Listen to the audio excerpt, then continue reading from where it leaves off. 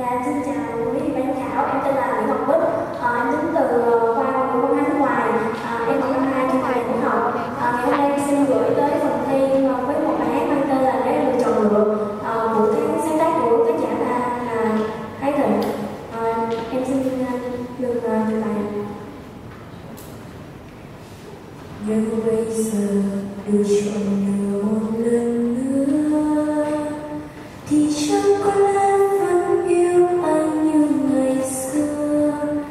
nếu bây giờ được chọn lựa điều em ước thì em tin em vẫn mơ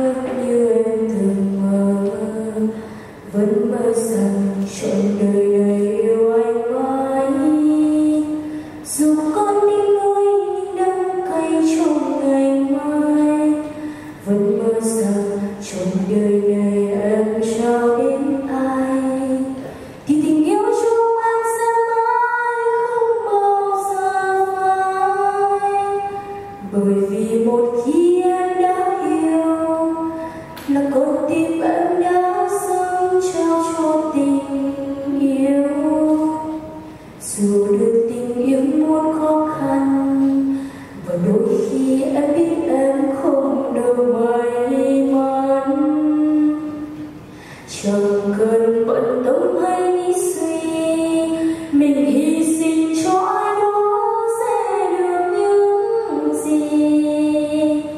Đã yêu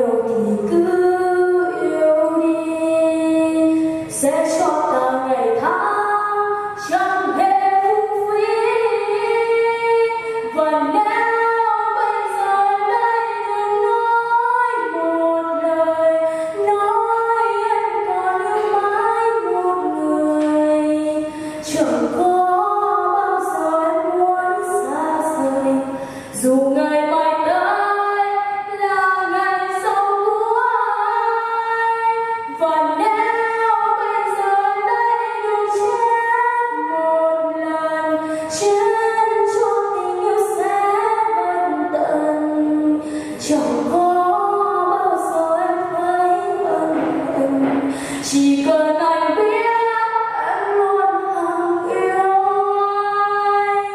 Chẳng khó bao giờ em thấy ân hận. Chỉ cần